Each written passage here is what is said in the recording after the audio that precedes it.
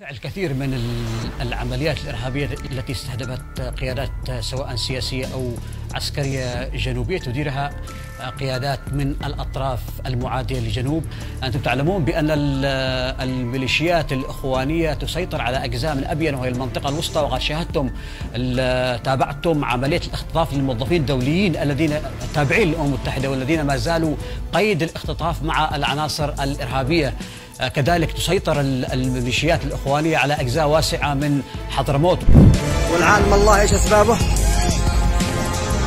أنها انفجار كبير.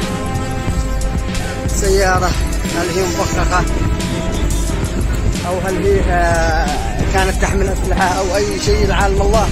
إيش سبب الانفجار هذا؟ لكن الحمد لله سلامات